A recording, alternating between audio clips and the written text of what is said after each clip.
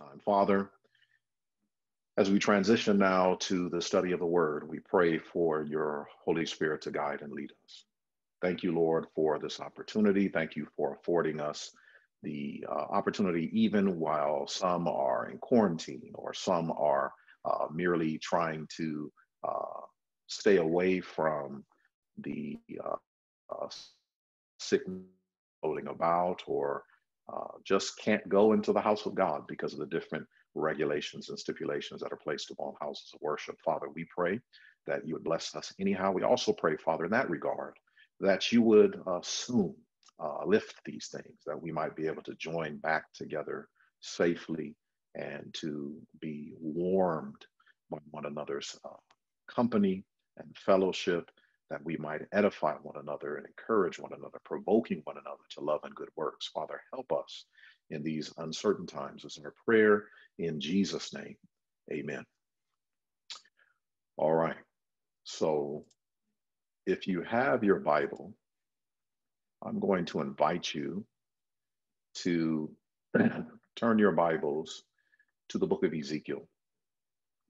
All right, so go with me in your Bibles to the book of Ezekiel, and we're going to chapter 14. Now, today we're talking about the remnant, and uh, the title of the sermon today, or the study today, is The Remnant Noah, Daniel, and Job. And we're going to look at these three men and how these three men uh, typify the remnant, and why, particularly, these three men typify the remnant.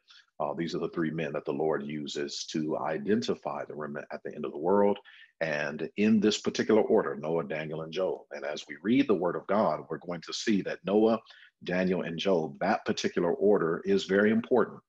Uh, and I'll make comment on that in just a moment. So let's turn to Ezekiel chapter 14, the 14th chapter of Ezekiel.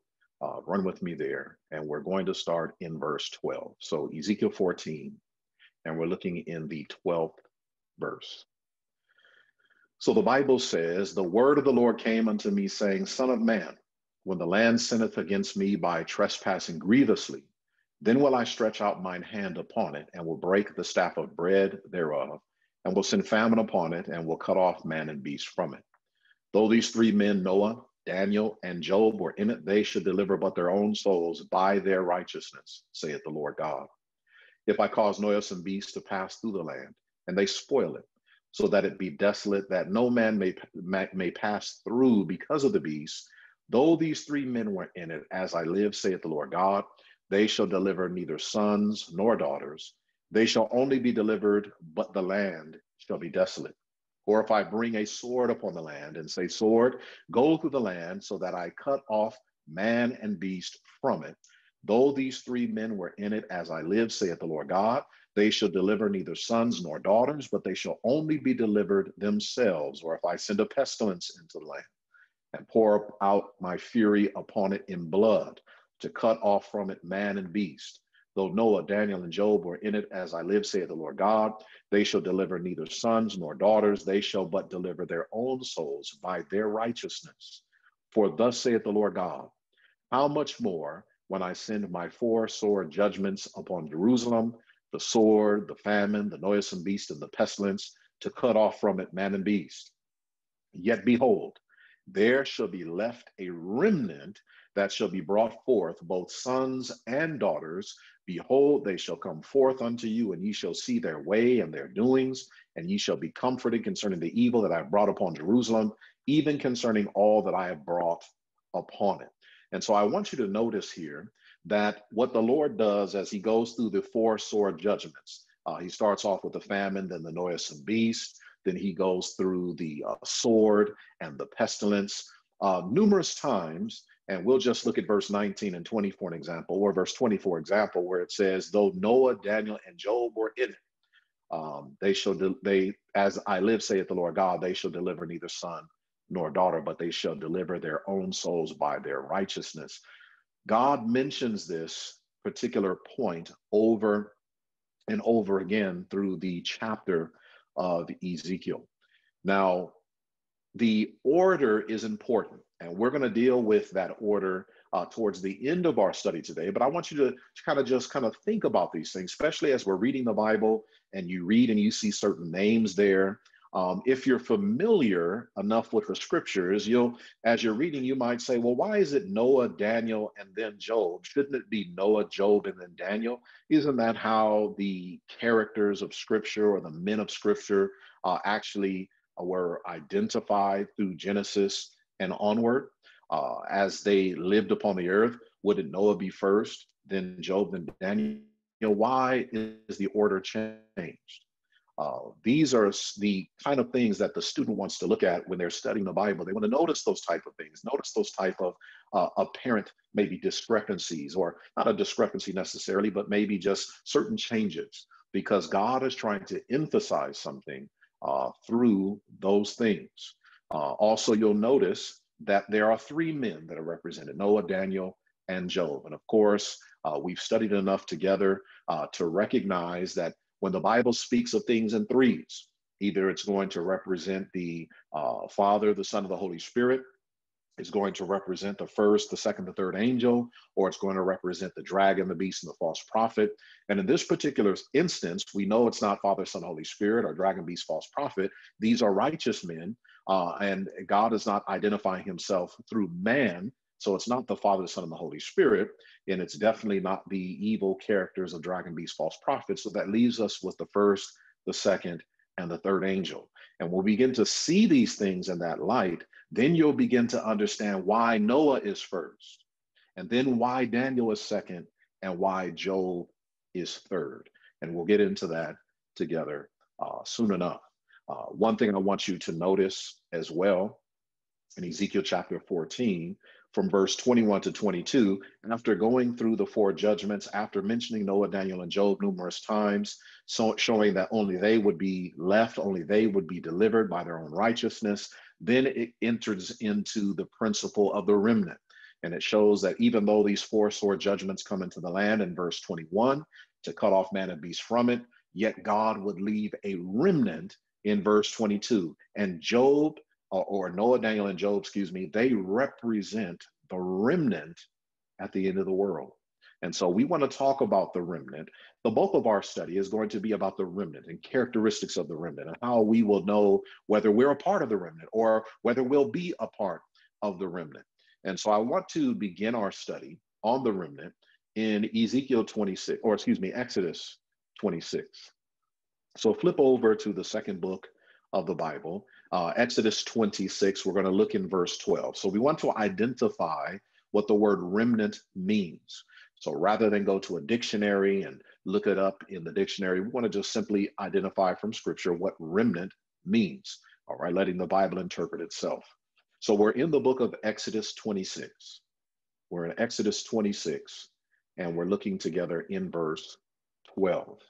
Exodus 26 and verse 12. We are in the 26th chapter of Exodus, the 12th verse, and the Bible says this And the remnant that remaineth of the curtains of the tent, the half curtain that remaineth, shall hang over the backside of the tabernacle. So notice the Bible talks about the remnant that remaineth. Okay, so a remnant is that which remains, all right, that which is left over look at in your Bible to Second Kings. So go to Second Kings with me. So we're in Second Kings. We we just read Exodus 26 and verse 12, identifying that the remnant represents that which remains. Now we're going to Second Kings chapter 19. So Second Kings 19, we're going to look together in verse 4. Second Kings 19, verse 4, and then we're going to skip down to verse uh, 30. So in 2 Kings 19 and verse 4, still talking about the remnant, still trying to identify what a remnant means. The Bible says in verse 4 of 2 Kings 19, it may be the Lord thy God will hear all the words of Rabshakeh, whom the king of Assyria, his master, hath sent to reproach the living God, and will reprove the words which the Lord thy God hath heard.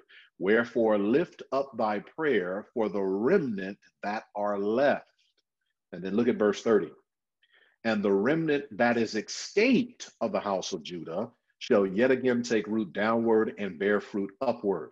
For out of Jerusalem shall go forth a remnant, and they that escape out of Mount Zion the zeal of the Lord of hosts shall do this.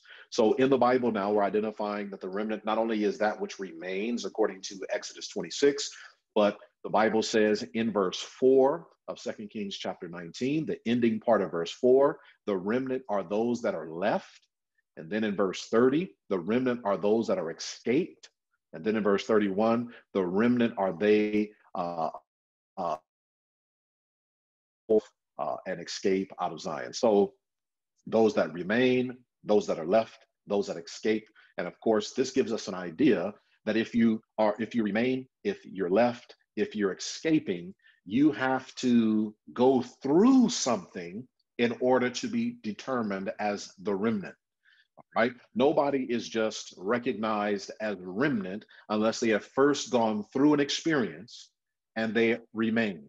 They go through a certain experience and they're the ones that are left. They go through a certain experience and they're the ones that escape. This is what the Bible identifies as the remnant. All right, so let's begin to run through the scriptures a little bit more and go through some deeper ideas as far as the remnant are concerned. So I want you to turn with me now to Joel. So go to Joel chapter 2.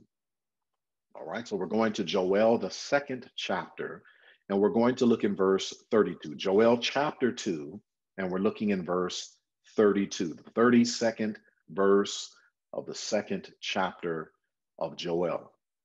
So in Joel 2 and 32, Bible says it this way. It says, It shall come to pass that whosoever shall call on the name of the Lord shall be delivered. For in Mount Zion and in Jerusalem shall be deliverance, as the Lord hath said, and in the remnant whom the Lord shall call. So when we were talking about a remnant, those that remain, those that are left, those that are escaped, here the Bible is talking about how God is going to deliver his people in Jerusalem, and it identifies the remnant. Now, here's the first characteristic we want to write down regarding the remnant. We've identified what a remnant means, but now let's let's look at some of the characteristics of the remnant. Number one, it says at the end of Joel chapter 2, verse 32, it says, In the remnant whom the Lord shall call. Right? So we want to understand that the remnant are called and not just called. Of course, we know that Matthew 22 and verse 14 tells us that many are called, but few are chosen, and the few would be the remnant. So the remnant are both called and chosen. We know they're the ones that escape a certain experience. We know they're the ones that are left. They're the ones that remain after going through a particular uh, uh, uh, uh experience in Earth's history, but the Bible also identifies them now as far as their characteristics are concerned.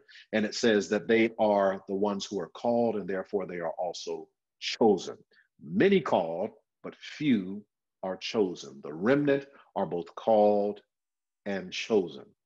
All right, so let's look at characteristic number two. We're going to Isaiah 46, Isaiah the 46th chapter and we're going to just simply look at verse 3. So, Isaiah chapter 46 and verse 3. This is characteristic number two. So, Isaiah 46, and we're looking at the third verse, 46th chapter of the book of Isaiah, verse 3. And I'm repeating myself uh, as I normally do, uh, just because I'm I'm I'm hoping at least uh, that some are out there maybe maybe taking their notes. So I don't want to go too fast. So Isaiah 46 and the third verse, Bible says it this way. It says, Hearken unto me, O house of Jacob, and all the remnant of the house of Israel, which are born by me from the belly, which are carried from the womb. All right. So the word born there is the word, uh, not the word born like is in birth, but born as in carried. All right. The word, the uh, letter E is at the end. So born by me from the belly and carried by me from the womb. Or so when the Bible is referring to the remnant here, God says that he carries them from the belly. He, or he bears them from the belly, he carries them from the womb. In other words, the remnant are carried by the Lord after their birth. Interesting. The Bible identified the remnant as called and chosen. The second characteristic, the Bible shows that the Lord carries the remnant after their birth. All right. So, what is this birth that we're talking about? And this will lead us into the third characteristic. So, the remnant are called and chosen. The remnant are carried by the Lord after their birth. But what birth are we referring to? All right. Flip with me to uh, the book of Romans. So, we're going to Romans chapter 9. Romans chapter 9. And we're going to start in verse 4. And I want to look at Romans 9, verse 4 to identify no one is actually born, physically born into being a, a, a, the remnant. You know, we can't say, well, I was, you know, born a remnant. I was born this way or born that way. That's not what the Bible is referring to. The birth that God is referring to is spiritual. All right. So you're called and you're chosen if you're a part of the remnant. You also are carried by the Lord, sustained by God after your birth. Now, what birth is this? Romans 9, verse 4. Romans chapter 9, verse 4. We'll read to around maybe verse verse 8 or so. It says, Who are Israelites? And remember the reason why, uh, well, let me explain to you. The reason why we're looking at this particular verse is, and and identifying who the Israelites are, because as we study the remnant through the Bible, it, God always refers to the remnant as coming from Israel or coming from from Judah, coming from His people. All right, so this particular verse is very important. It says, Who are Israelites? To whom pertaineth the adoption and the glory and the covenants and the giving of the law and the service of God and the promises? Who are the fathers and of whom are concerning the flesh Christ came, who is over all, God blessed forever. Amen.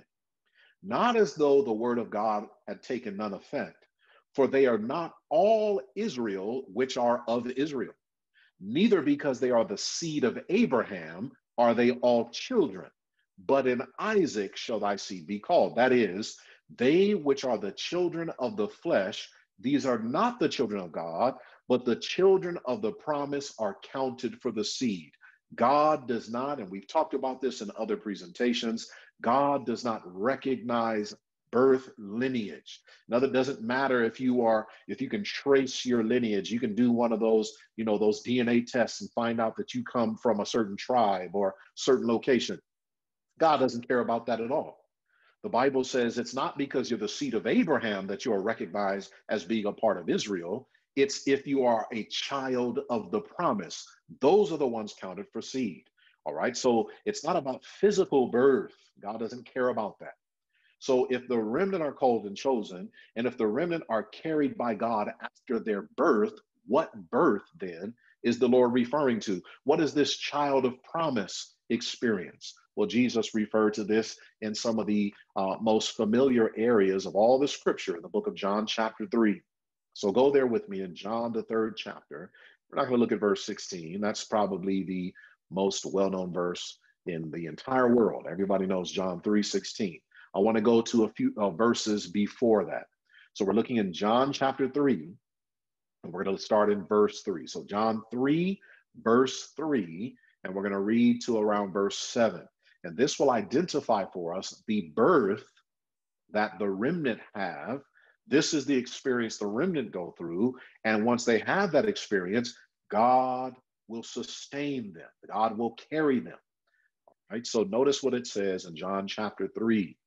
And we're looking in verse 3, John 3 and verse 3. The Bible says it this way Jesus answered and said unto them, Verily, verily, I say unto thee, except a man be born again, he cannot see the kingdom of God.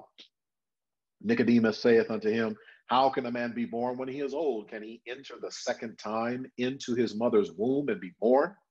Jesus answered, Verily, verily, I say unto thee, except a man be born of water and of the Spirit, he cannot enter into the kingdom of God. That which is born of the flesh is flesh, that which is born of the Spirit is spirit. Marvel not that I say unto thee, he must be born again. And so Christ identifies very clearly that unless a man, a woman, a child, unless a person is born again, they cannot enter into the kingdom of God. This born again experience, this conversion experience, this being born of God experience, this becoming a child of promise experience, this is what will determine whether we will be a part of the remnant or not. And I want to make something clear just because a person is born again does not mean he will be a part of the remnant. Even though this is a characteristic of the remnant, even though anyone who will be a part of God's remnant at the end of the world will have been born again, it doesn't mean that if you are born again, you'll be a part of the remnant. Right, that's important. Because the remember, the remnant, they're the ones that remain. They're the ones that are left. They're the ones that will go through an experience and be delivered. Okay, so they're the ones that remaineth after a certain experience will take place. We'll look at that, uh, what that is uh, shortly. So the third characteristic that we're talking about is how those that make up the remnant, uh, they're born again and they're sustained by the power of God. So let's look at characteristic number four. Now we're running to the book of Micah, chapter 7. So let's turn there. Micah, chapter 7 and verse 18. Micah, chapter 7 and verse 18. Micah, the book of Micah in the Old Testament, the seventh chapter and the 18th verse. Micah 7, verse 18. Notice what Bible says.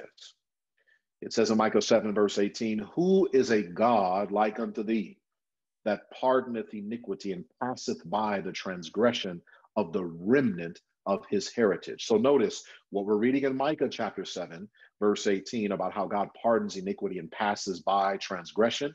This is what this is an experience the remnant have. All right. So God passes by the rim, the transgression of the remnant of his heritage. He retaineth not his anger forever because he delighteth in mercy.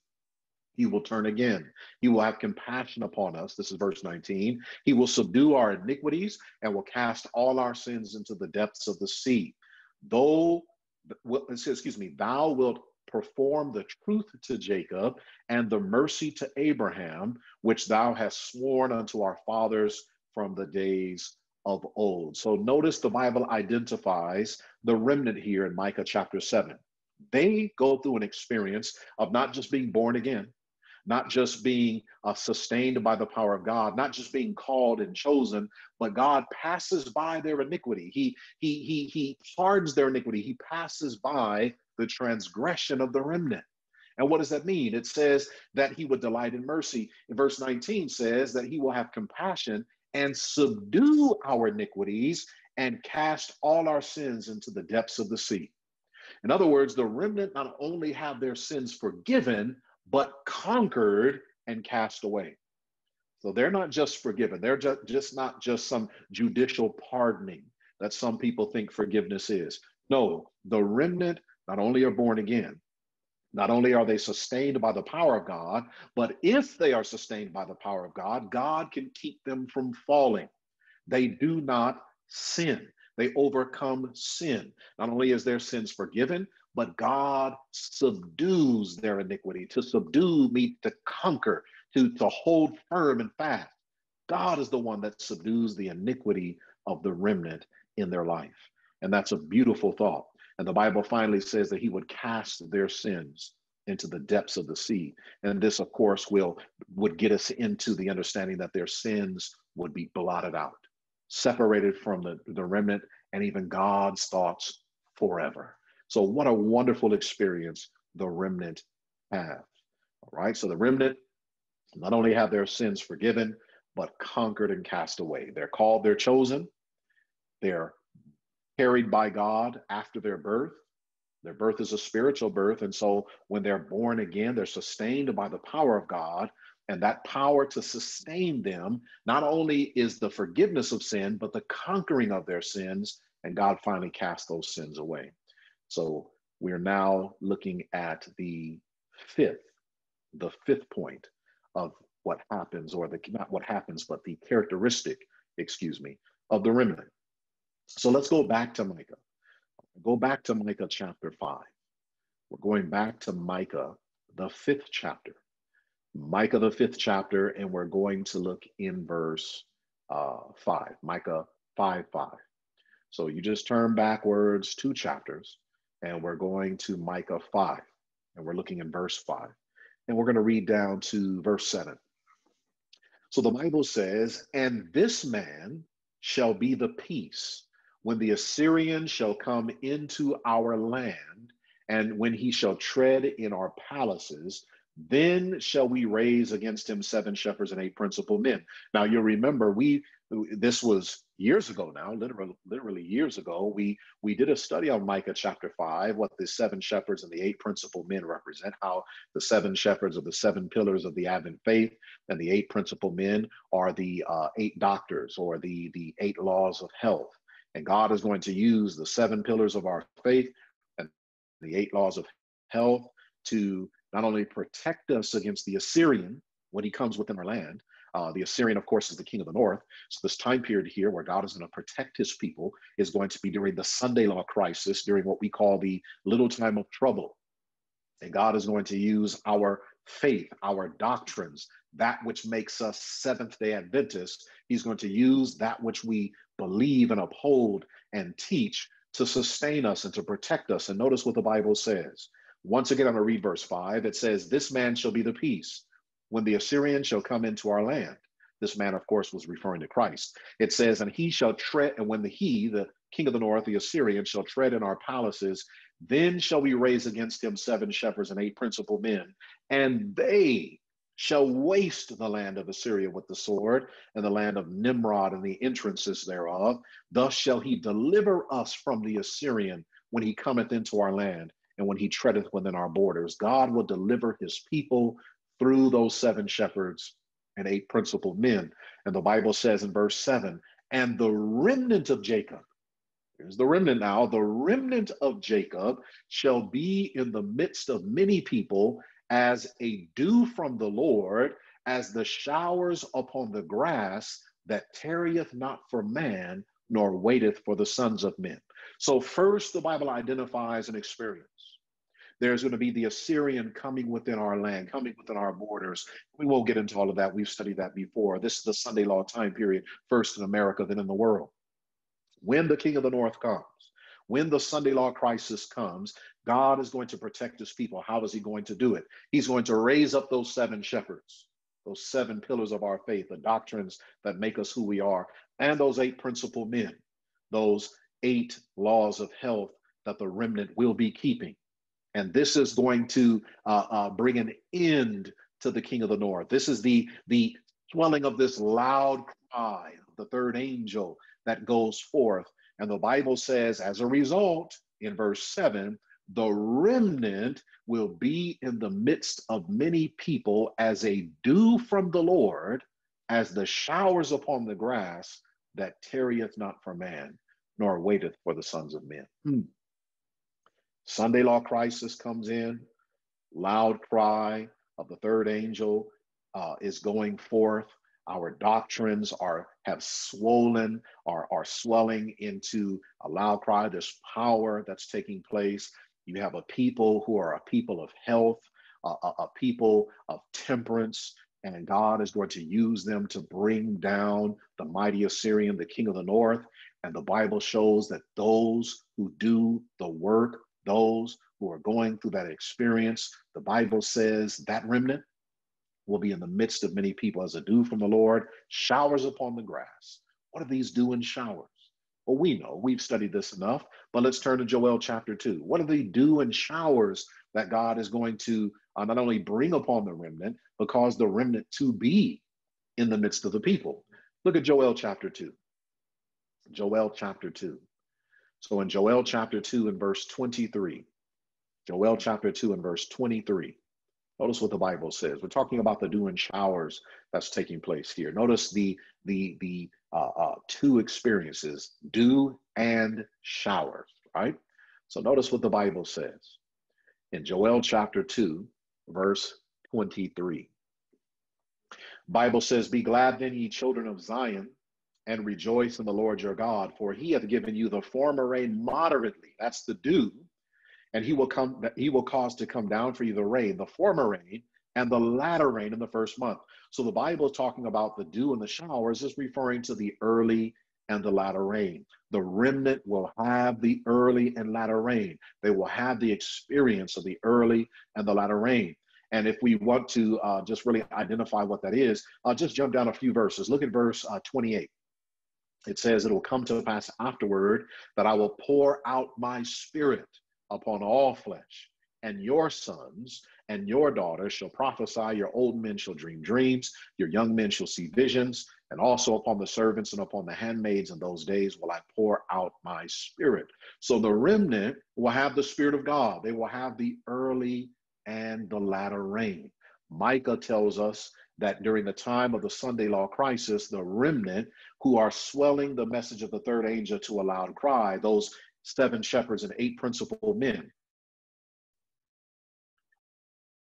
are people of temperance and health who are being able to go forth and to do the work at the end of the world during the most stupendous crisis that will ever come upon or has ever come upon the earth. These are the individuals represented by the remnant. They are as the dew and as the showers. They have the early and the latter rain. They have received the outpouring of God's Spirit. All right, so that's the other characteristic of the remnant. Now, stay in Micah. We don't have to go far. We looked at Micah 7, how God is going to not only uh, pass by the iniquity, pass by the transgressions of the people, uh, of the remnant, meaning he's going to forgive their sins. But the Bible also said that Christ is going to subdue their iniquities or our iniquities, meaning he's going to help us conquer our sins. We will be the overcomers that are seven times spoken about in Revelations chapter 2 and chapter 3. We will be the overcomers. We will receive these seven blessings uh, to the seven churches. All the blessings to the seven churches are to those who overcome. We will have overcome sin.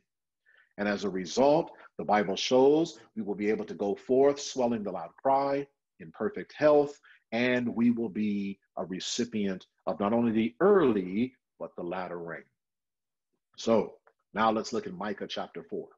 So we looked at Micah 7, we looked at Micah 5. Now just turn back one chapter to Micah chapter 4 notice this Micah chapter 4. And the reason why I want to look at this particular verse is because some have a tendency to believe that the remnant that we talk about in the Bible will, uh, uh, and I'm trying to word this correctly, um, we don't look out of the, we don't look outside of our church. And when I'm talking about that, I'm talking about right now. In other words, Seventh Adventists. We like to compartmentalize and say, well, this promise is is is just for us. We're uh, only represented as the virgins, or we're only represented as the remnant, so on and so forth. Um, and then the Bible is not necessarily saying that. Do I believe that those who will uh, be a part of the remnant will have accepted the faith of the Seventh Adventists? Of course I do. Okay, because we've already identified the remnant will be swelling the loud cry. The remnant have an experience, they have a message. And so those who will be a part of the remnant will have to have that. But I want you to notice Micah 4. Notice Micah 4. Look at Micah 4, chapter 1. Uh, excuse me, Micah chapter 4, verse 1. Micah chapter 4, verse 1. We're going to see that the remnant are literally going to be composed of every nation and kindred and tongue and people. Remember, our message is going forth to every nation, kindred, tongue, and people. And if our message is going forth to every nation, kindred, tongue, and people, and we're giving the loud cry, calling people to come out of Babylon, well, what are they going to be coming into? They're going to be coming into the truth. They're going to be coming into being a part of God's true church. And if they're coming out of Babylon and they're coming in at the end of the world, then they can be a part of the remnant. And so notice Micah chapter 4, verses 1 through 8. Micah chapter 4, verse 1 through 8. Notice what the Bible says. It says, But in the last days, very clear, in the last days, it shall come to pass that the mountain of the house of the Lord shall be established in the top of the mountains, and it shall be exalted above the hills, and people shall flow unto it. And of course, this is also mentioned in the book of Isaiah, Isaiah chapter 2. It says, In the last days, it's going to come to pass that the mountain of the house of the Lord shall be established in the top of the mountains, and it shall be exalted above the hills, and people shall flow into it or unto it. And here, the mountain of the house of the Lord, this is the symbol of God's people, his church. It says, Many nations shall come in verse 2. Many nations shall come and say, Come, let us go up to the mountain of the Lord, to the house of the God of Jacob, and he will teach us of his ways, and we will walk in his paths. For the law shall go forth of Zion, and the word of the Lord from Jerusalem. And he shall judge among many people, and rebuke strong nations afar off. And they shall beat their swords into plowshares, and their spears into pruning hooks. Nation shall not lift up sword against nation, neither shall they learn war any more. but they shall sit every man under his vine and under his fig tree, and none shall make them afraid, for the mouth of the Lord of hosts has spoken it. For all people will walk everyone in the name of his God, and we will walk in the name of the Lord our God forever and ever. Here is an interesting point. In the context when you're reading this, all right, who are the ones speaking here? In Micah chapter 4, it's the many nations that will come and speak. It's the many nations that are saying, hey, let's go up to the true house of God. Let's go up to God's true church. Let's learn of his laws. Let's learn of his ways. We're going to walk in his paths. We're going to keep his law. We're going to do his commandments. And it says that all the people, all the rest of the people, they're going to worship their own God, but we will walk in the name of the Lord our God forever. These are the people that come out and join in with God's church. It says in verse 8, In that day, saith the Lord, will I assemble her that halteth, and I will gather her that is driven out, and her that I have afflicted, and I will make her that halteth a remnant, and her that was cast off a strong nation. And the Lord shall reign over them in Mount Zion from henceforth forever and uh, uh, henceforth uh, even forever. And thou, O tower of the flock, the stronghold of the daughter of Zion, unto thee shall it come, even the first dominion. The kingdom shall come to the daughter of Jerusalem. The Bible tells us, the Bible is expressing to us very clear that the remnant who come out into God's holy mountain, they're composed of all the different nations of the world, it says. That's every nation, kindred, tongue, and people. And they will be given the kingdom and reign with God. And so the remnant is not just us now. I believe that the Seventh day Adventist Church is the remnant church. I do believe that. But I also believe what, what Paul said, and that is not everyone who is of Israel, or not everybody in Israel is really of Israel. Not everyone who is in the Seventh Adventist Church is really going to be God's remnant. They have to go through an experience. They have to be the ones that remain, those that are left, those that escape. What time period will that happen? Well, we've been reading in Micah when the Assyrian comes into the land, the Sunday law crisis, there's going to be an event that takes place where the loud cry is swollen. The seven shepherds, the seven pillars of our faith, gain power. The people of God who are following those eight shepherds, those eight, uh, uh, uh seven shepherds are eight principal men, the eight laws of health. Those who are temperate. Bible says they're going to be giving a message.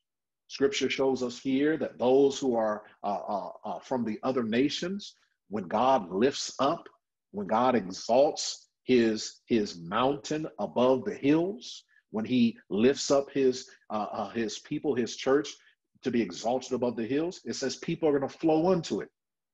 These people are going to say, "Let's go to the house of God." Let's go to the house of Jacob. He's going to teach us of his ways. We're going to walk in his paths. The law is going to be going forth. We're going to walk in his ways and do them.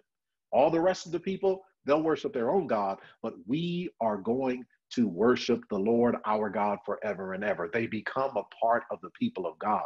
And then from that point in Micah 4, they're referred to as the remnant. So the remnant are composed of all nations, kindred, tongues, and people, and will be given a place in the kingdom of God, and they will reign with God. So Let's look now a little bit further into some more characteristics of the remnant. Ezra chapter 9. Ezra chapter 9. Let's go there. Ezra chapter 9. All right, so in Ezra, the ninth chapter, Ezra, the ninth chapter, let's look together in the eighth verse. Ezra chapter 9, let's go to the eighth verse. Ezra 9, verse 8. Right? And we are looking now at the seventh characteristic. We've gone over six characteristics. We've talked about how the remnant are called and chosen. We've talked about how they're carried by God uh, from their birth. After their birth, they're carried by God. We talked about how their birth is a spiritual birth. It's being born again and being, being sustained by God's power. We talked about the fourth characteristic, which was how uh, the remnants have their sin, the remnant will have their sins not only forgiven, but conquered and cast away. We talked about how the remnant will have the Spirit of God, the early and the latter rain.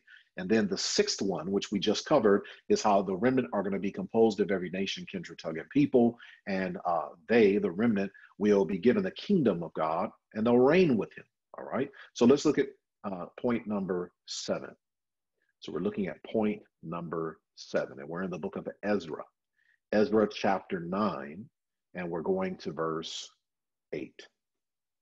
Ezra chapter nine, and we're looking at verse eight. The Bible says, And now for a little space, grace has been showed from the Lord our God to leave us a remnant to escape and to give us a nail in his sure place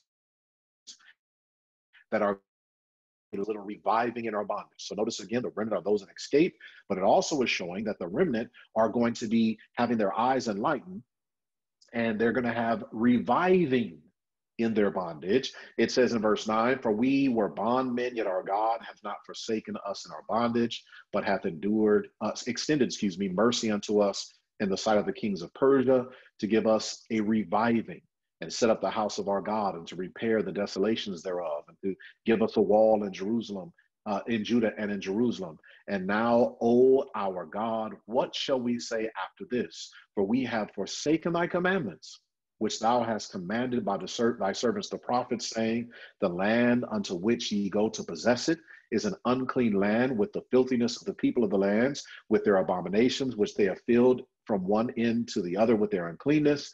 Now, therefore, give not your daughter unto their sons, neither take their daughters unto your sons. It says, nor seek their peace or wealth forever, that ye may be strong and eat the good of the land, and leave it for an inheritance to your children forever.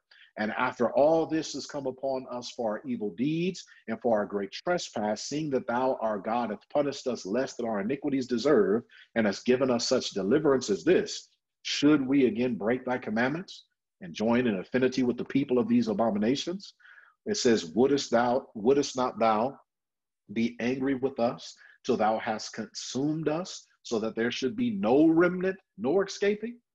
All right, let's put this all together. So, Ezra chapter 9 starts off with how God is going to show grace and mercy and leave a remnant, right? And that remnant would have their eyes enlightened, and the remnant would be revived in their bondage. Then those who are going to be composed of the remnant, they begin to consider their history or consider their experience. And here in Ezra chapter 9, um, the people began to literally consider how God sent them prophets, how God sent them the word, and how the word of the Lord encouraged them or instructed them to keep the commandments how the word of the Lord instructed them to not be unequally yoked with unbelievers, how the word of the Lord instructed them to not take their sons uh, uh, under, you know, as their sons or the world's daughters as their daughters, how the people of God and the people of the world or the people of other faiths should not mingle together. And so they began to uh, go through their experience because they did all of that. They broke the commandments of God. They they they they they were unequally yoked with unbelievers, and as a result, they were brought into bondage. As a result, they were scattered. And so they begin to consider their ways. And at the end, it says, listen, they begin to ask the question again should we again break thy commandments? Should we again join in affinity with the people of these abominations? And it says, Wouldst not thou be angry with us till thou hast consumed us, so that there should be no remnant? So listen to me, friends. Those who are going to compose the remnant these are those who would have had an experience of being born again. Yes, they may have faltered and fallen in their past experience. All have sinned and come short of the glory of God. But God is not only going to forgive their sins, He's going to subdue their iniquities. And one of the things that comes to their mind that they recognize they cannot do is they have to be a special, separate people. They cannot join in affinity with the world. They cannot be unequally yoked together with unbelievers. They cannot break the commandments of God because they will come to an understanding of this. If we do this, there would be no remnant. So, therefore, the remnant, friends, not only will they have a revival, as we read about in Ezra chapter 9, not only will their eyes be enlightened, but one thing that has come to their understanding is they must be a separate and distinct people and not have affiliations with the people of the world. And what determines someone as a person of the world or an unbeliever is they have a different faith. It's clear in the scriptures. They can no longer break the commandments of God. They can no longer have affinity with those who are of uh, unlike, who are not of precious faith. Otherwise, they will never compose the remnant at the end of the world. Bible is clear. So, one of the things that we see here in Ezra chapter 9 as well is that they will keep the commandments of God. And so, since we're talking about the remnant keeping the commandments of God, I want you to flip over to Revelation. Go to Revelation chapter 14. So, go with me to Revelation chapter 14. Let's talk about the remnant there and um, bring out some some some thoughts uh, about the remnant in the book of Revelation. So, we'll stick in the book of Revelation at least for about four scriptures. So, Revelation chapter 14, verse 12. This is a verse that, at least in our in our church, the Three Angels Fellowship, uh, uh, very regularly we we state or say as part of our affirmation of faith as we talk about the first, second, and third angel. So Revelation 14, 12, a verse that we all know very well. It says, Here is the patience of the saints. Here are they that keep the commandments of God and the faith of Jesus. So according to Ezra, we know that those who are going to keep the commandment are the remnant. So in Revelation 14, verse 12, the saints being referred to here that will keep the commandments of God are clearly the remnant. We'll see that very clear. The remnant are going to be keeping the commandments of God. But not only are they keeping the commandments of God, they also keep the faith of Jesus. Right? Not only the commandments, but the faith of Jesus. All right. So flip over to Revelation chapter 12. Go back two chapters. Revelation chapter 12 and let's look at verse 17. So, last verse of the chapter, Revelation chapter 12 and verse 17. Here we're going to clearly see that it's the remnant who are keeping the commandments of God. All right, so Revelation chapter 12 and verse 17. Notice what the Bible says. Scripture says, And the dragon was wroth with the woman, with the woman, and went to make war with the remnant of her seed. So here's the remnant which keep the commandments of God. So clearly, the remnant keep the commandments of God. And it says, and have the testimony of Jesus Christ. So, so far, we know that the remnant keep the commandments of God. If we connect Revelation 12, 17 and Revelation 14, verse 12, the saints that are spoken of in Revelation 14, 12 that keep the commandments are the remnant. Okay, or the remnant will be keeping the commandments. Not only will they be keeping the commandments, but they'll also keep the faith of Jesus. Okay, the faith of Jesus, the lifestyle of Jesus, the the the character of Jesus. That was Jesus did. That's how what he lived, his manner, his his ways. The remnant will keep the faith of Jesus. They will have the righteousness by faith experience. But also in verse 17 of Revelation chapter 12, it says, The remnant will have the testimony of Jesus Christ. They keep the faith of Jesus, but they also have the testimony of Jesus. And we know Revelation 19:10. For those that have never maybe uh, connected these verses before, we're gonna go. We're gonna go there. Let's find out what the testimony of Jesus is that the remnant will also have. They keep the commandments of God, but they also have the testimony of Jesus Christ. What is that? How do we know we'll be a part of the remnant? How do we know we're in the right place? Look at Revelation 19, verse 10. What is the testimony of Jesus Christ? In Revelation chapter 19, verse 10, here John has an experience where he's so overwhelmed by the glory of the scenes and the things that he's being taught that he falls at the foot of the angel to worship him. It says, I fell at his feet to worship him, verse 10 of chapter 19. And he said unto me, See thou do it not. I am thy fellow servant and of thy brethren that have the testimony of Jesus. Okay, remember the remnant that are going to be made war, that are going to be a warred against by the dragon. They not only keep the commandments, but they have the testimony of Jesus Christ. Here, John is uh, uh, falling at the foot of the angel, and the angel says, Don't worship me, don't do that. I'm of your fellow brethren that have the testimony of Jesus. All right, what is the testimony of Jesus? It says, worship God, for the testimony of Jesus is the spirit of prophecy. So the remnant keep the commandments of God, all 10, including the Sabbath. The remnant keep the faith of Jesus. They have the experience of righteousness by faith, And the remnant have the testimony of Jesus Christ, which is the spirit of prophecy. Now, let's broaden it a little bit. Let's broaden our perspective of what the spirit of prophecy is. All right, look at Revelation chapter 22. Revelation chapter 22. And we're going to look in verse 8 and verse 9. Revelation chapter 22, verses 8 and 9. Notice John is again having the experience of being overwhelmed by the glory of the vision, being overwhelmed by the angel that is instructing him in these things. And the Bible says, And I, John, saw these things and I heard them. And when I had heard and seen, I fell down at the to worship feet of the angel which showed me these things. Second time he had this experience. Verse 9 says, Then saith he unto me, See thou do it not, for I am of thy fellow servant and of thy brethren the prophets, and of them which keep the sayings of this book. Worship God. So when we put Revelation 19 verse 10 and Revelation 22, verse 8 and 9 together, we learn that the testimony of Jesus Christ, which is the spirit of prophecy, is the testimony or spirit of the prophets, the prophets as a whole. Right? And what this represents for us is that the remnant, the people who are known as the remnant at the end of time, they will have the gift of prophecy. The spiritual gift of the prophet will be seen in that church or in that group of people at the end of the world. You know, there's many churches that will keep the Ten Commandments. All right. For an example, some will say, well, you know, the Seventh day Baptists, they they keep the commandments of God. That's true. But the Seventh day Baptists, they don't have the gift of the spirit of prophecy within their church. They don't, they don't believe there's any prophets outside of the canon of the scripture.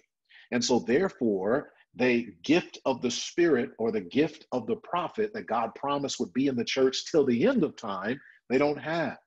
All right. So notice if matter of fact, if you flip over to Ephesians chapter four, if you flip over to Ephesians chapter four, let's talk about this gift, this gift of the prophet and what's the purpose of this gift. So this is identifying for us that the church that is identified as being the remnant, that that church that the people of the world are going to flow into and become a part of that remnant, um, the Bible is going to identify for us that they have all the spiritual gifts in the church. So, Ephesians chapter 4. Let's look there. Ephesians chapter 4 and verse, uh, let's start in verse 8, then we'll jump into verse 11.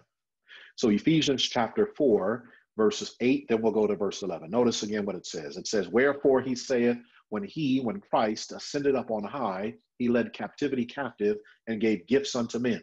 So when Christ was resurrected and he ascended to heaven, the Bible said he led captivity captive. That's referring to the multitude that he took with him to heaven, that he resurrected at his resurrection. All right, that were resurrected as, at his resurrection. The Bible says that he ascended up on high, he led captivity captive.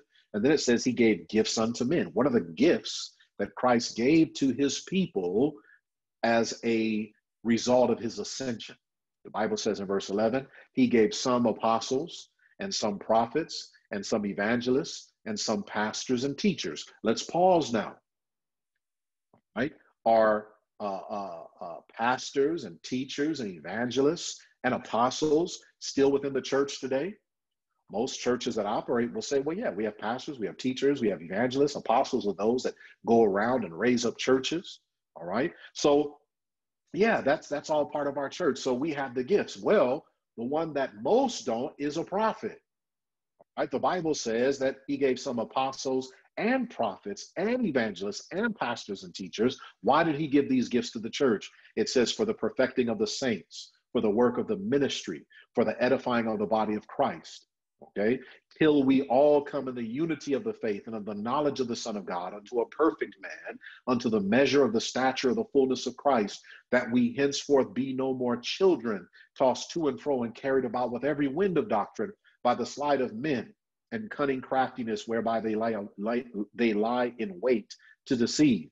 But speaking the truth in love may grow up into him in all things, which is the head, even Christ from whom the whole body fitly joined together and compacted by that which every joint supplieth, according to the effectual working in the measure of every part, making uh, uh, uh, uh, making increase in the body unto the edifying of itself in love. The Bible shows that the gifts that Christ gave will be in the church until the saints are perfected, until the ministry has fully worked, until the body of Christ is edified, until all are in the unity of the faith and of the knowledge of the Son of God, until all are perfect men and women in Christ, coming up to the fullness of the measure of the stature of Christ, not tossed around by any winds of doctrine. They are solid as a rock in their beliefs. Friends, this experience has not fully happened yet in any church. And so, therefore, therefore, the gifts of the Spirit that God has specifically given to his remnant church will be in that church till the end. So, the remnant church are, identified as having the spirit of prophecy or the spiritual gift of a prophet. Now, we, we've talked, you know, uh, uh, about eight points, eight points now. So let's look at the nine, nine, nine, nine. Let's look at 10 points. So we're going to look at the ninth point and the 10th point. So we talked about eight points. We'll review in just a moment, but let's talk about point number nine now. All right. So go with me in the scriptures to the book of Zephaniah. Go with me in the scriptures to the book of Zephaniah. And this, this particular chapter, chapter three in, in the book of Zephaniah, is going to uh, identify for us uh, some wonderful things about the remnant, but it's going to identify for us also a time period when the remnant are going to be formed. All right. So Zephaniah chapter three is where we're going. Verse eight is where we're starting. And I think this is very important for us because there are many who believe that, excuse me, that the remnant are already formed. All right, but that's not the case. The remnant church is alive and well in the world, yes. The remnant church, they keep all the commandments of God. They have the spiritual gift of a prophet. They they believe and, and are experiencing the, the message of righteousness by faith, keeping the faith of Jesus. But not everyone who's a part of that church is going to be a part of the remnant. All right, remember, there has to be an experience they go through, and that experience is when the king of Assyria comes into the land, the king of the north. And that is yet to happen. We're on the brinks of this happening. But God's people are going to be those that are left out of that terrible experience known as the time of trouble. They are going to be those that are left, that remain, that escape from the things that are taking place within uh, their land and within their borders. So, point being, the remnant have not yet emerged. We read in Revelation chapter 12, verse 17, that the dragon goes forth to make war with the remnant. That has yet to happen. And so, therefore, the remnant, as identified in the Bible, have not yet emerged. Yet, we can go through the Bible and we can identify the characteristics that the remnant would have. And since all of us should be striving to be a part of that remnant, every single thing that we have been going through, we need to experience whether we are a part of the remnant or not. We must be called and we must be chosen.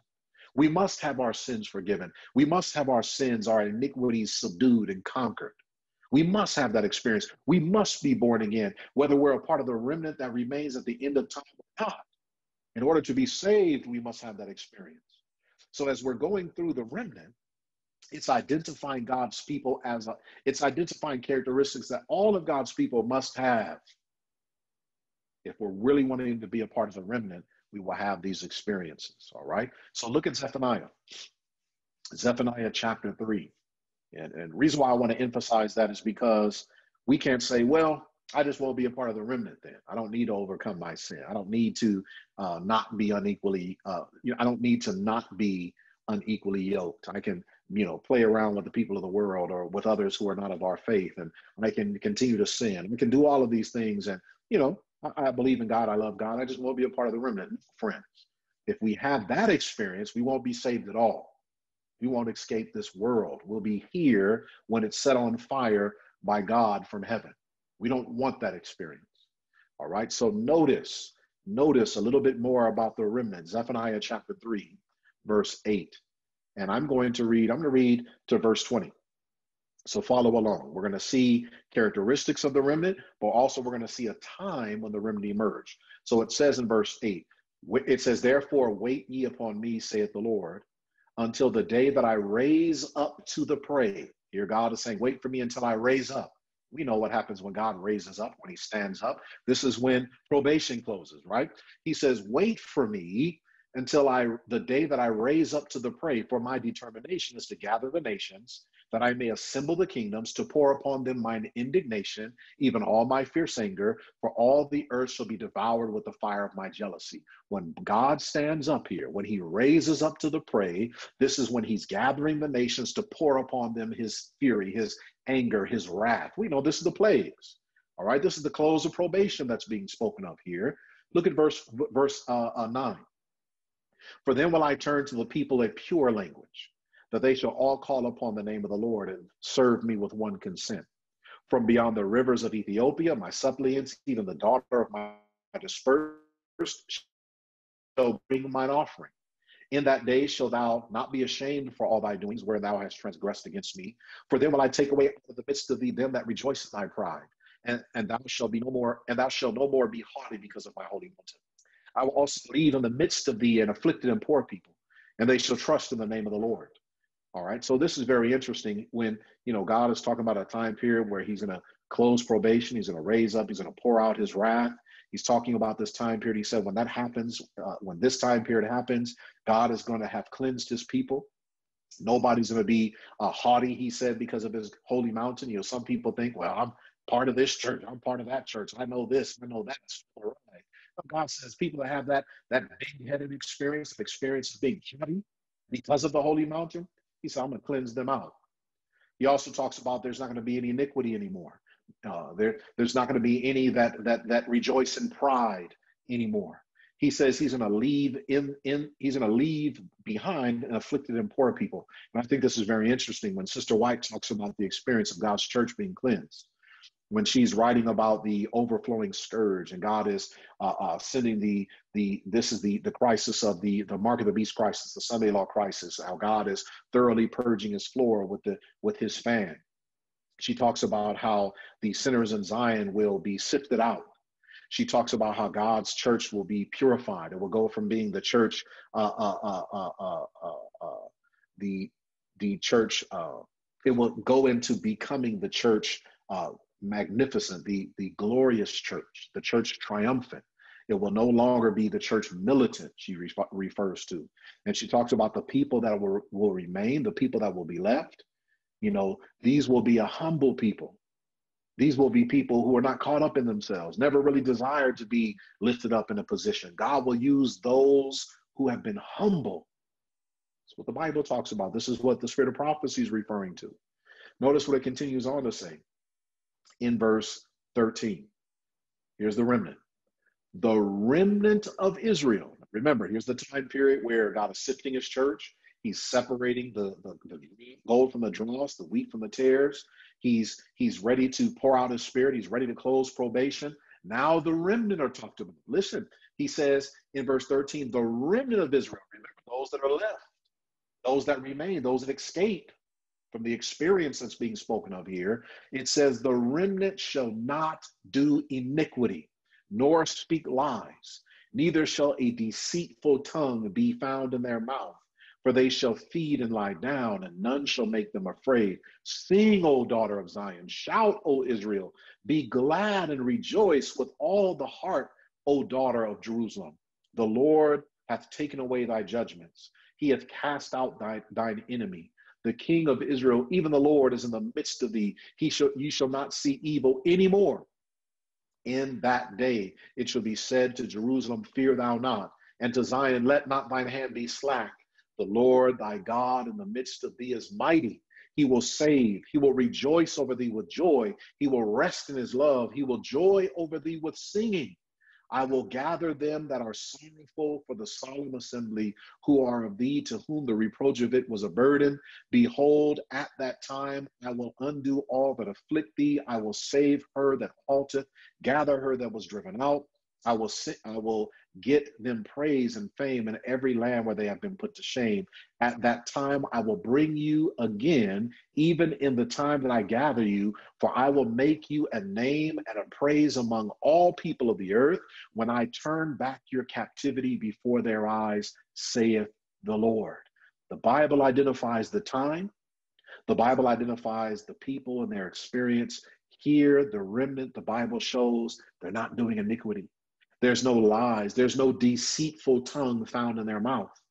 They're going to have an experience where they're going to be separated from all the sinners in Zion, all the other nations that were not a part of God's people as well. And the Bible says that Christ is going to pour upon them his wrath and his anger. This is when the remnant emerge. This is when you see the remnant identified in this experience. And we've studied this before in, in other ways. We know that right before Michael stands up, right before he closes probation, right before his wrath is poured out, he numbers his people, the saints that are left, the remnant, the 144,000 friends. And how do we know the 144,000 are the remnant? Well, we read about the remnant here here in the book of Zephaniah, chapter 3, they don't have any uh, deceitful tongue in their mouth. They don't speak lies. They don't do iniquity. Notice what the Bible says in Revelation 14. Flip over there with me to Revelation chapter 14. So Revelation, the 14th chapter. Let's let's tie this in with what we read, we, we just read in Zephaniah. So Revelation 14, look at verse, verse, verse 1. Revelation 14, verse 1. The Bible says, And I looked, and lo, a lamb stood on the Mount Zion and with him 144,000, having his father's name written in their foreheads. And I heard a voice from heaven as the voice of many waters, and as the voice of a great thunder. And I heard the voice of harpers harping with their harps, and they sung, as it were, a new song before the throne, and before the four beasts, and before the angels, uh, elders. And no man can learn that song but the 144,000, which were redeemed from the earth. Let's pause there. Here the Bible is identifying a number 144,000. They are keeping the commandments of God. They have the Father's name written in their foreheads, and they're singing a new song that nobody else can learn. Why? Because nobody else has experienced. The song that the 144,000 sing is the song of their experience. Nobody else can sing it because you have to go through an experience. Just like we've learned, the remnant are those that are left, those that remain, those that are escaped. They are the ones that are going through an experience. And the Bible identifies them. Listen, it says, These are they which were not defiled with women, for they are virgins. They have a pure faith, a pure truth. These are they which follow the Lamb whithersoever he goeth. Remember, they're keeping the faith of Jesus. These were redeemed from among men, being the first fruits unto God and to the Lamb, and in their mouth was found no guile for they are without fault before the throne of God.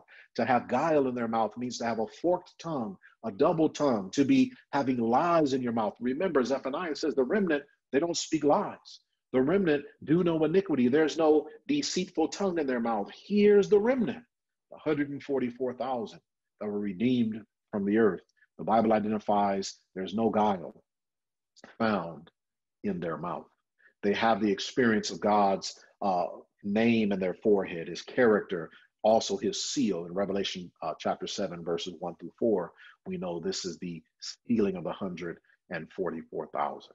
And so, friends, the remnant we know are going to be specifically the 144,000.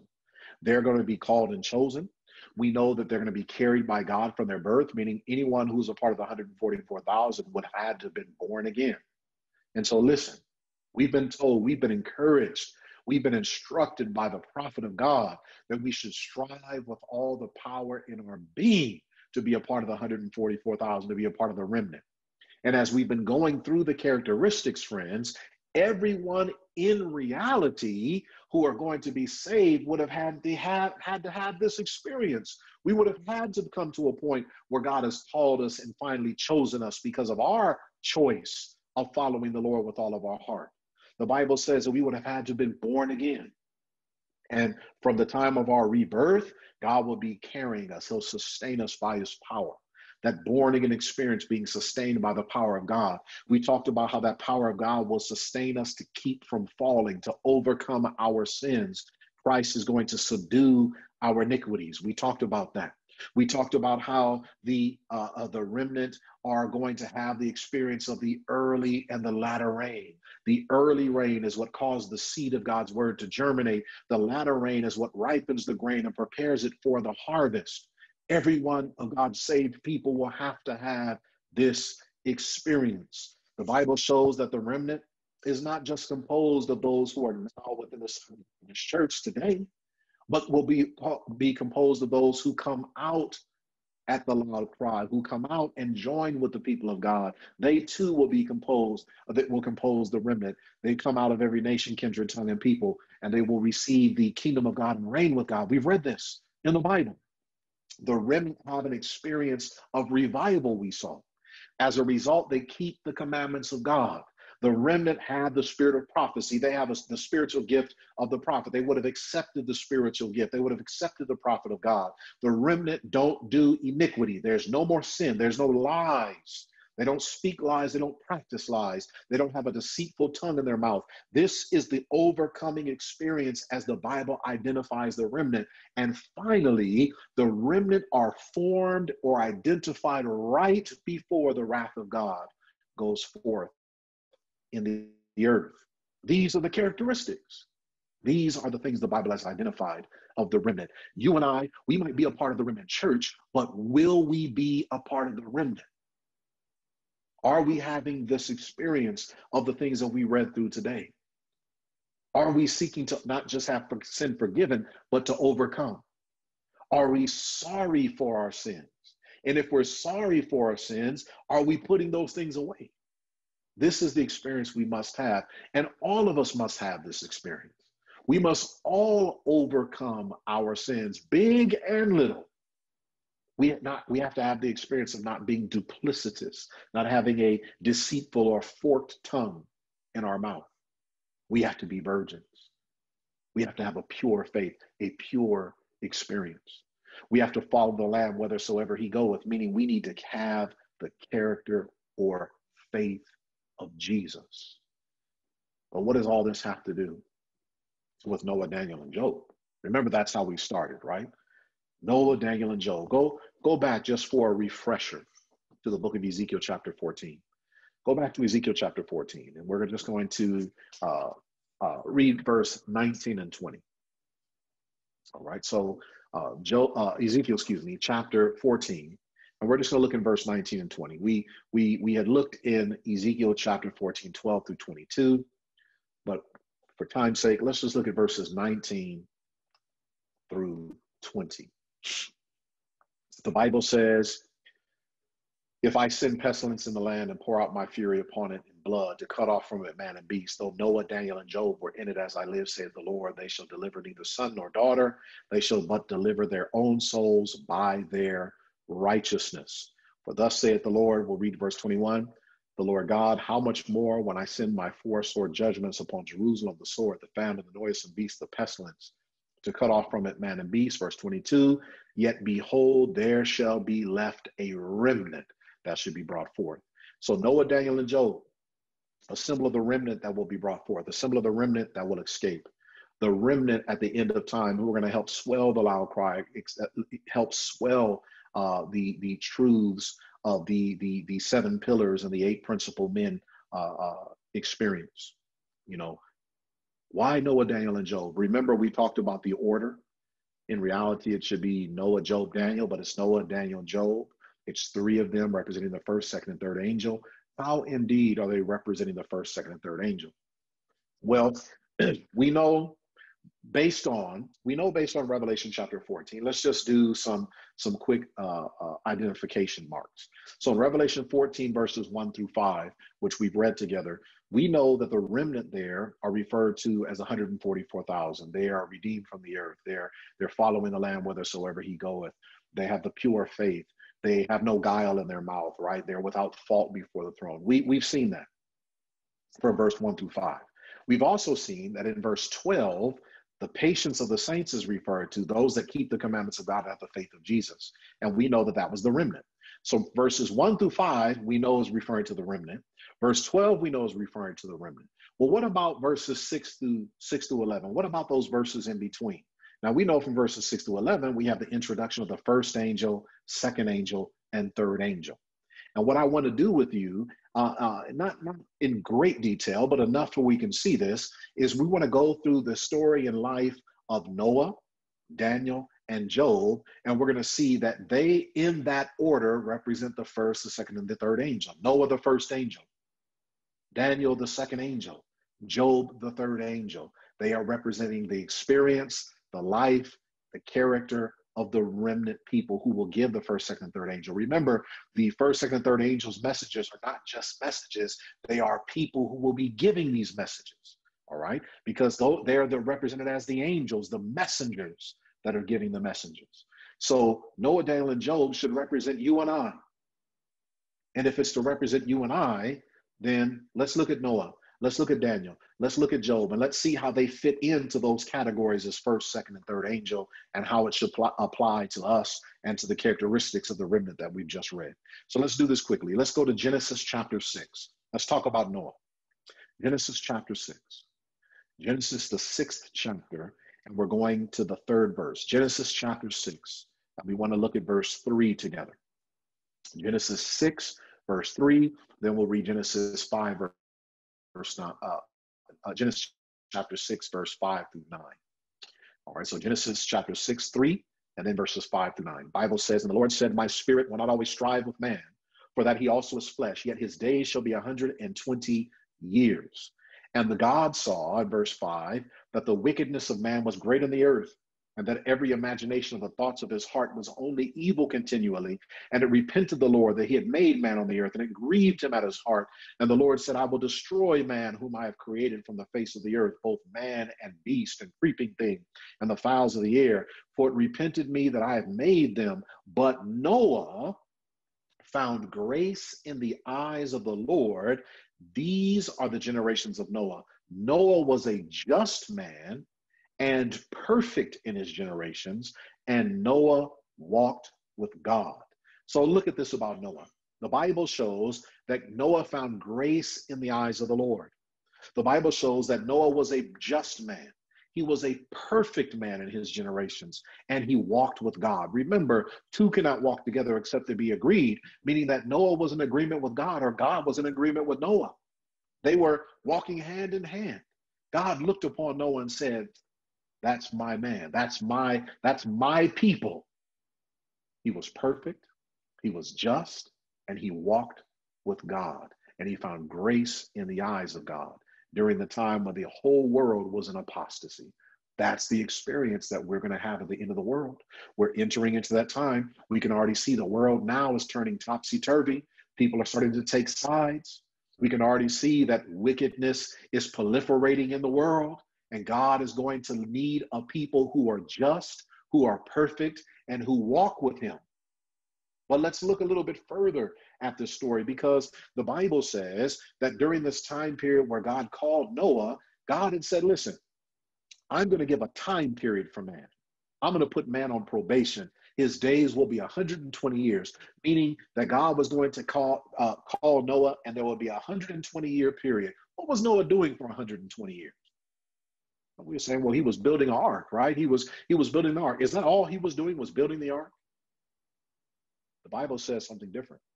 If you look in Second Peter, if you look in Second Peter chapter two, and you look in verse four and five, the Bible says that Noah was not just building an ark. Listen to what Noah was doing.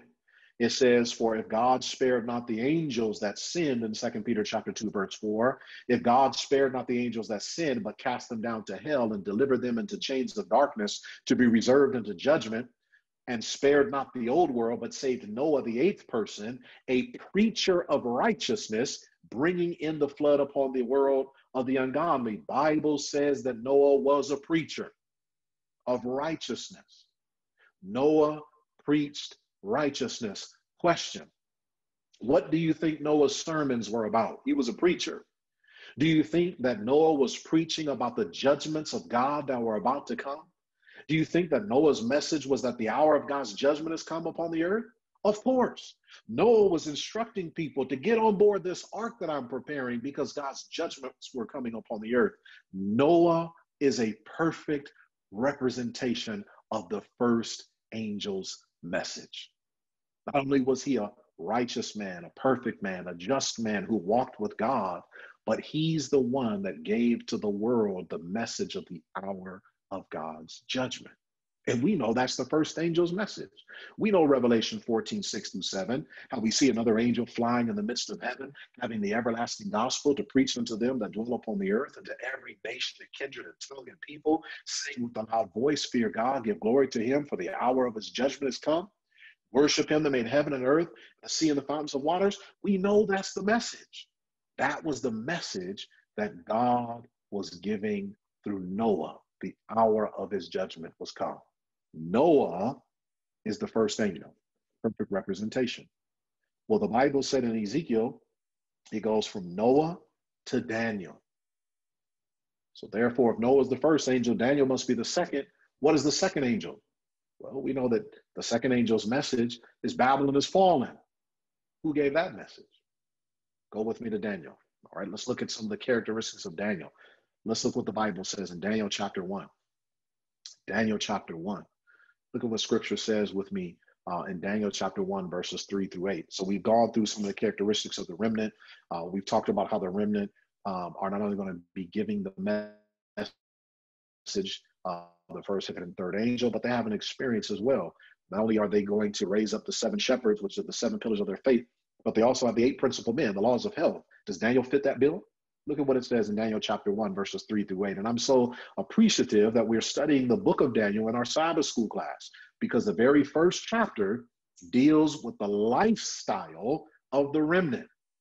The Bible says in verse 3 And the king spake to Ashpenaz, the master of his, his eunuchs, that he would bring certain of the children of Israel and the king's seed and of the princes, children in whom was no blemish, but well favored and skillful in all wisdom and cunning and knowledge and understanding science, and such as had ability in them to stand in the king's palace, and whom they might teach the learning and the tongue of the Chaldeans. And the king appointed them a daily provision of the king's meat and of the wine which he drank, so nourishing them three years, that at the end thereof they might stand before the king. Now among these were the children of Judah, Daniel, Hananiah, Mishael, and Azariah, unto whom the prince of the eunuchs gave names, for unto Daniel the name of Belteshazzar, and the Hananiah Shadrach, to Mishael of Meshach, and of Azariah of Abednego. But Daniel purposed in his heart that he would not defile himself with a portion of the king's meat, nor with the wine which he drank. Therefore, he requested of the prince of the eunuchs that he might not defile himself. And we know the Bible goes on to say that he wanted a, a 10 day test to come upon them. Look at verse 15. All right. At, uh, uh, uh, excuse me, verse 12. It says, Prove thy servants, I beseech thee, ten days, and let us get and let them give us pulse to eat and water to drink. And it says in verse 15, at the end of the ten days, their countenance appeared fair and fatter in flesh than all the children that did eat the portion of the king's meat. Thus Melzar took away the portion of their meat and the wine which they drank, and gave them pulse. Uh, as for these four children, God gave them knowledge and skill in all learning and wisdom, and Daniel had understanding in all visions and dreams. Friends, the Bible shows us that Daniel, who is the man under discussion now, had a lifestyle that was purely vegetable, a, a diet that was purely vegetable. As a result, God gave him wisdom and learning, not just in the things of the earth, not just the sciences and and history, but the Bible says that he had the understanding of visions and dreams. Daniel experienced the gift of the spirit of prophecy. Remember, the remnant had that. Here, the Bible shows that Daniel had the lifestyle. Daniel his he he has the gifts that the remnant will have as well. The Bible shows in Daniel the sixth chapter. Let's do this quickly here. In Daniel chapter six, verse three through four, we know the story of Daniel, which is why I'm going through it kind of fast here. But in Daniel chapter three, uh, excuse me, Daniel chapter 6, verse 3 through 4. It says, Daniel was preferred above the presidents and princes because an excellent spirit was in him, and the king thought to set him over the whole realm. Then the presidents and the princes sought to find occasion against Daniel concerning the kingdom, but they could find none occasion or fault, for as much as he was faithful, neither was there any error or fault found in him. Notice another characteristic of Daniel. Not only was he uh, living a, a healthy lifestyle, not only did he have the gifts of the Spirit, which are things that the remnant do, but in chapter six of Daniel, the Bible said the men tried to find in him occasion concerning the kingdom. In other words, they were trying to see was Daniel a good citizen? Did Daniel pay his taxes? Did Daniel, you know, uh, uh, uh, follow the laws of the land. Let's see if we can find something on Daniel. And the Bible said that they did diligent search and they can find no fault because he was faithful. There was no error or fault found in him. The Bible mentions that Daniel not only was spiritually correct, but he was a good citizen as well. Friends, we're speaking about the remnant.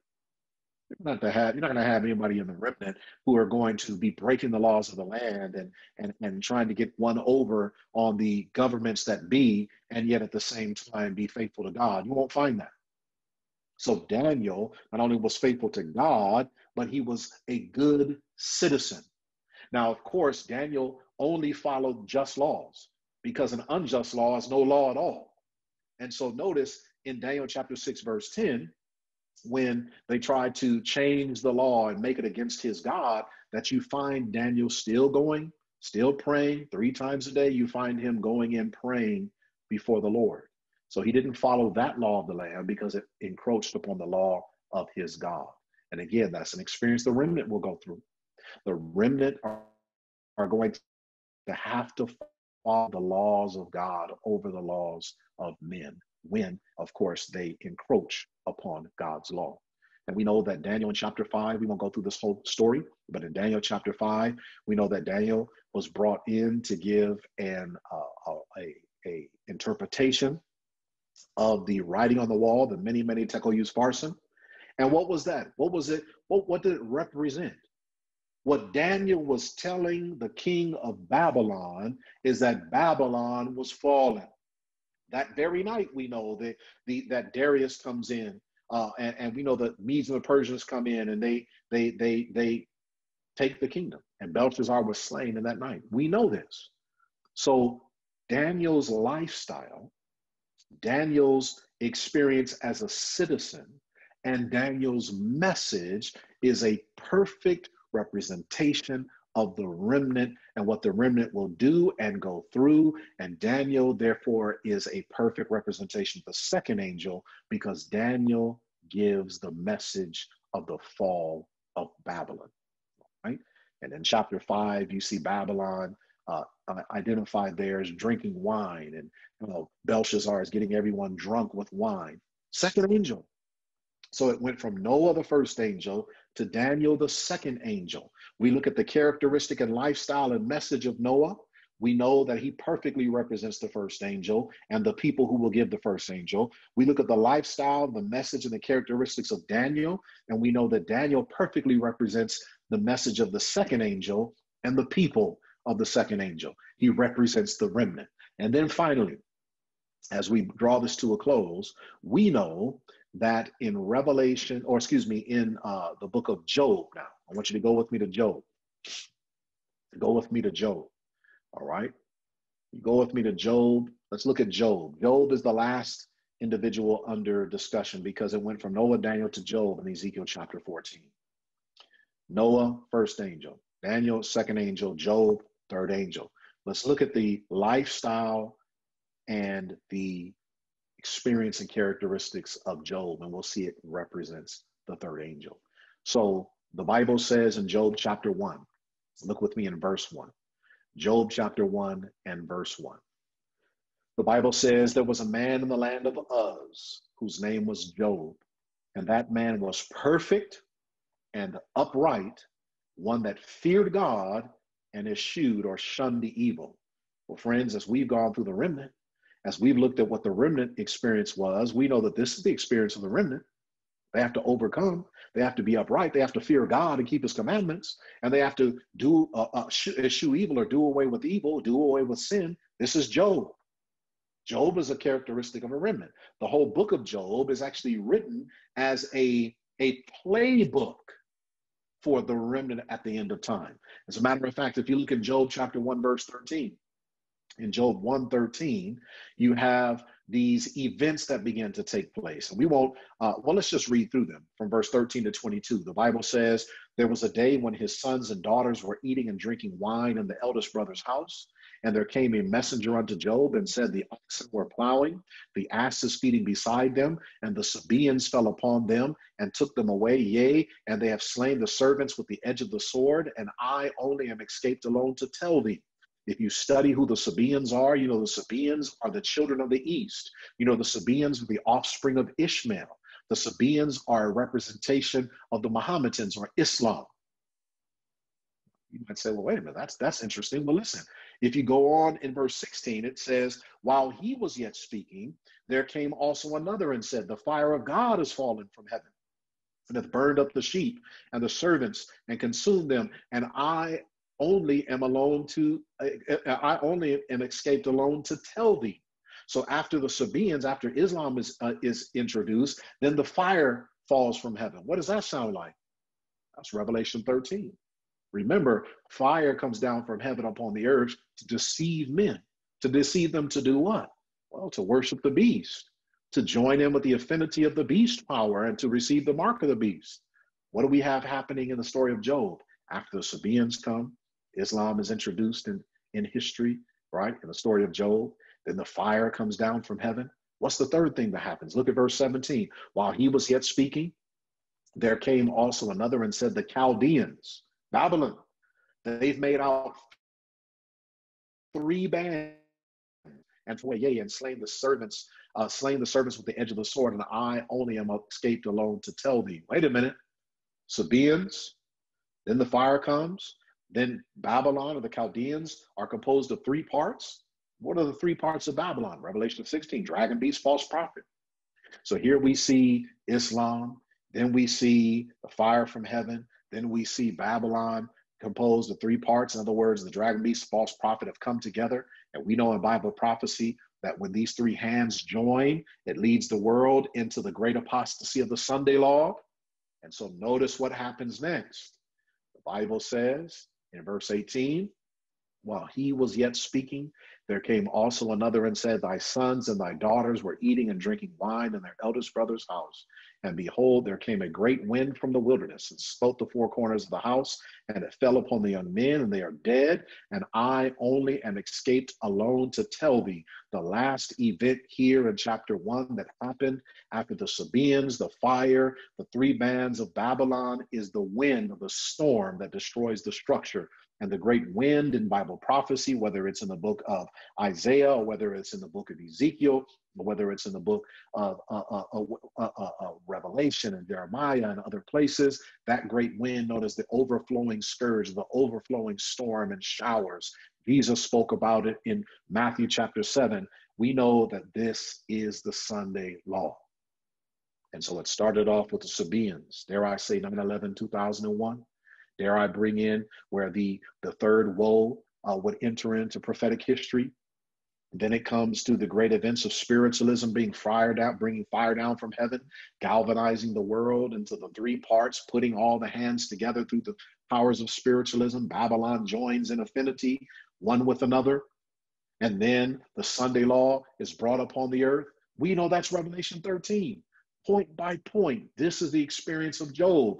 And notice what the Bible says in verse 20 about Job. It says, Then Job arose and rent his mantle and shaved his head and fell down upon the ground and worshiped and said, Naked came out of my mother's womb, and naked shall I return thither. And God gave, and the Lord, the Lord gave, and the Lord hath taken away. Blessed be the name of the Lord. In all this, Job sinned not, nor charged God foolishly.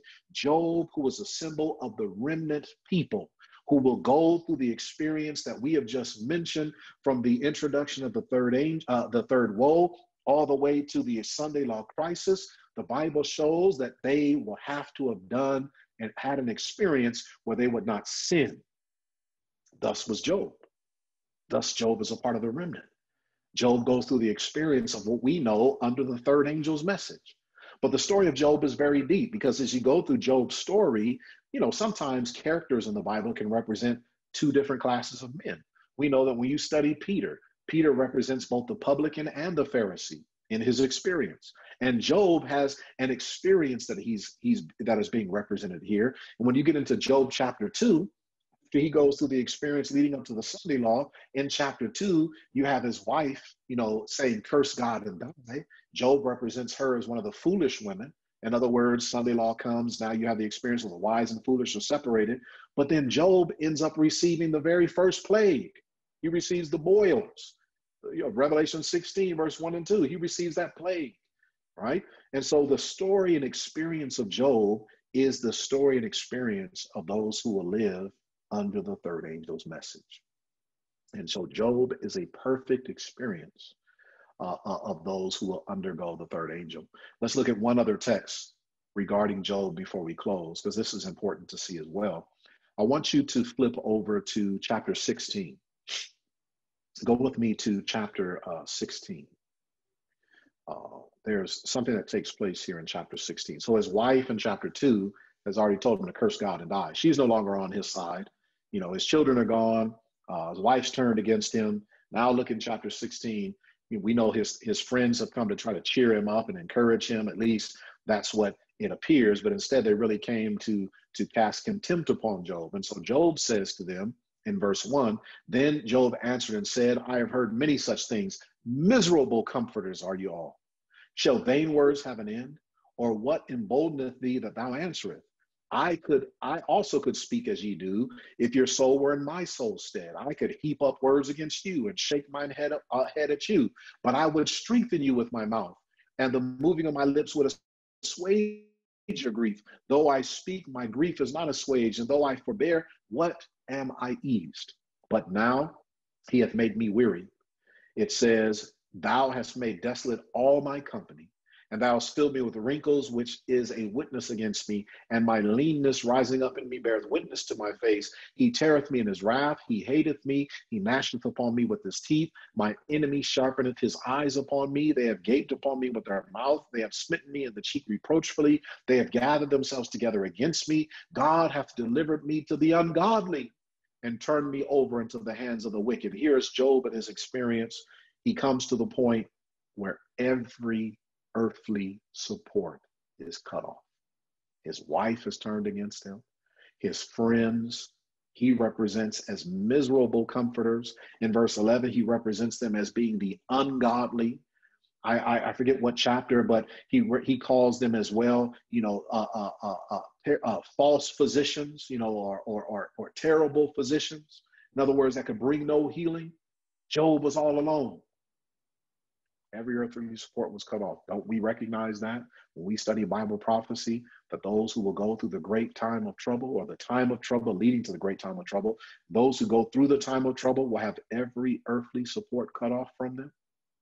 This is the third angel. So Job is a perfect representation of the character of those who will be giving the message. Remember, being perfect, upright, fearing God, eschewing evil, doing no sin in the midst of these the experience. But his whole story is a point by point layout of the events in their order of what will happen to the remnant people. Job is therefore the third angel.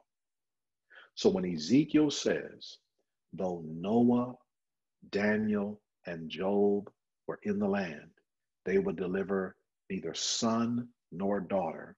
They would deliver their own souls by their righteousness. Friends, this is something that we need to take heed to. We need to take this to heart. The experience of Noah, the experience of Job, and the Daniel, and the experience of Job is the experience of the people who will compose the remnant at the end of the world. They will not be able to transfer their experience or their righteousness to their family. They will not be able to give their experience to their children. They will not be able to give their experience to their spouse. It will be an individual experience. If you and I are going to make it in the end, if you and I are going to go through, if you and I are going to be represented as the remnant, then we need to have an individual experience. We need to be born again. We need to be called and chosen. We need to be sustained by God. We need to have our sins forgiven. We need to have our sins conquered. We need to have the experience of the early and the latter rain. We need to have these experiences. If we do not have them, we will not be considered as Noah, as Daniel, and as Job. Let us pray.